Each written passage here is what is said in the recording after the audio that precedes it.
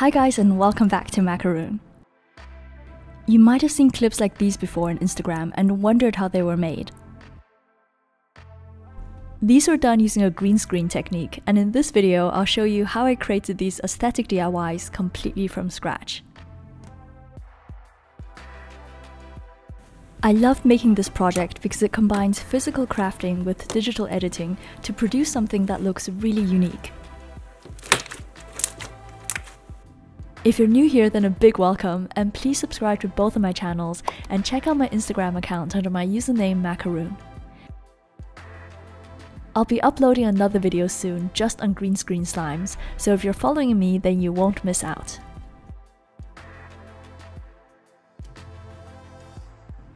And now let's get started with the first DIY, which is this sparkly bunny squishy. First of all, I'm going to make a model using polymer clay. This can be any design you like, and I've linked all of my squishy videos down below, so be sure to check those out if you need any inspiration. Every time you attach two pieces of clay together, be sure to smooth out the gaps using a toothpick. This makes your piece look a bit more professional and also makes it easier to create the mold later on. Now I'm going to bake the clay for half an hour at 110 degrees Celsius or 230 degrees Fahrenheit. After your piece is cooled, it's time to make a mold using 2 parts silicone putty. Make a ball of putty that fits in your palm like this, and press the clay inside using your other hand. Then gently compress it on all sides to pick up the details and place the mold flat on a table for the silicone to set. I find that this technique minimizes air bubbles and also prevents larger pieces from poking holes through the silicone. The result is a perfect mold like this. For the next step, we're going to make a green squishy. I'm using these inks which are designed to be compatible with Hito gel. I only have yellow and blue, so I'm going to mix my own green color. And now I'm going to create a batch of milky Hito gel. You're supposed to use 75% base resin and 25% hardener, though just to be safe, I'm going to use a tiny bit more hardener. Mix until both of these are completely combined and then add the green ink. These inks are pretty intense, so even a small amount is enough to add color to milky Hito gel. And of course, if you're using clear Hito gel, then you need even less pigment.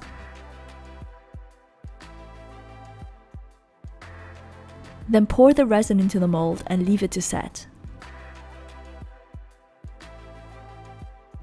I was pleasantly surprised that this actually cured without any problems within 24 hours. I really think they improved the formula of Hito gel because my past few squishy DIYs were all successful on the first attempt, which has never happened before. For the final step, I'm going to add some facial features using acrylic paint and glue.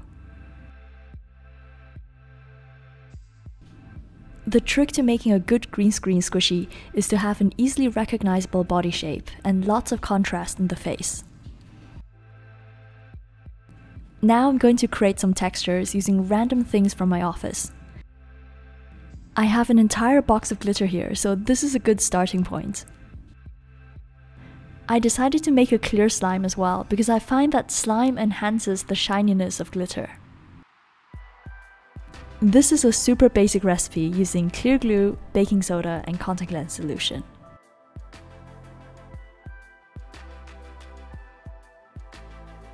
Some people might recognize this glitter from my 10 bottle slimes video. I really love the look of that, so I wanted to film another clip that's optimized as a green screen texture.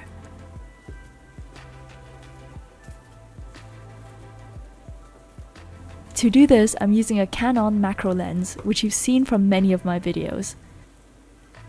This picks up all the details and makes very basic things look amazing.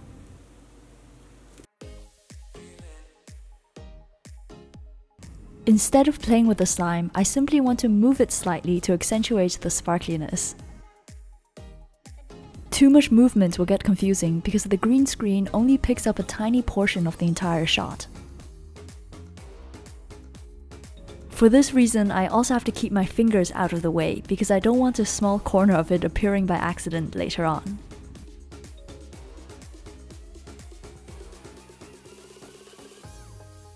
Now comes the digital magic. I've imported the green squishy clip into Final Cut Pro and pulled it onto my timeline. Then I'm selecting the glitter texture clip and placing it below this one. And now I'm going to apply this effect called keyer onto the squishy clip. Keying basically turns all the green areas transparent so you can see the second clip underneath. In our case, the green bunny turns transparent to reveal the glittery slime below. And that's all there is to this method. You only need to have something green and something textured to create some really cool effects.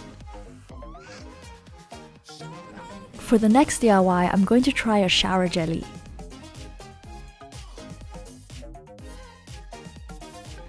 I know this one isn't going to look that realistic because the green is fairly transparent, however I was still quite impressed by the results. So here's the original clip with green color on all the areas that will be keyed later on.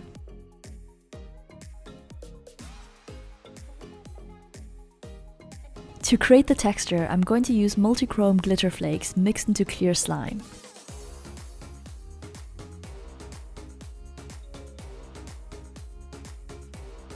In this case, there was only a fairly short bit of the glitter mixing that looked good, so I simply copy and pasted this segment to create a longer texture that fills up the entire jelly cutting part.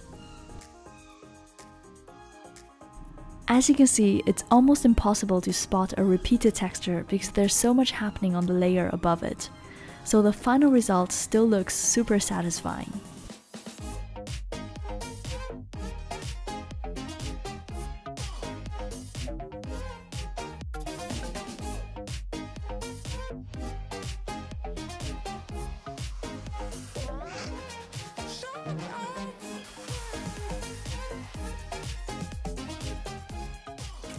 Last but not least, we have a rainbow slime.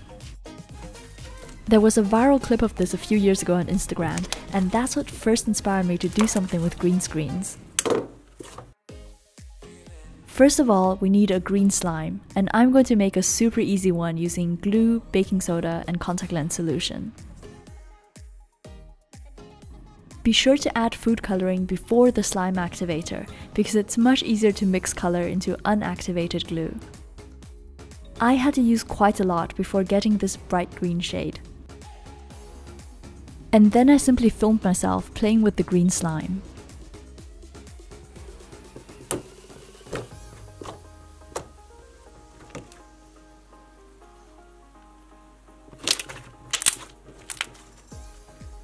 To make the rainbow texture, I'm actually using this knife. I shot a super close up of the blade and I deliberately kept it out of focus so the colors would blend together. I also overexposed the clip a bit to make the colors more pastely, which reminds me of that viral Instagram clip. And just like before, I simply combined both layers using the keyer effect to create this wonderfully aesthetic rainbow slime.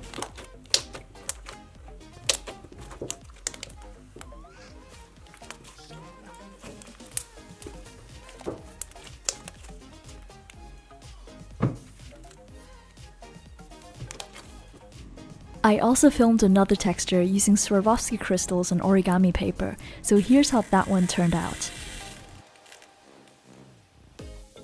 I find that smaller or more abstract textures tend to work very well, so I really want to repeat this video using more designs. I'll be making a follow-up video soon, so be sure to subscribe to both of my channels so you don't miss out. I'm Joanna, thank you for watching, and I'll see you soon. Bye!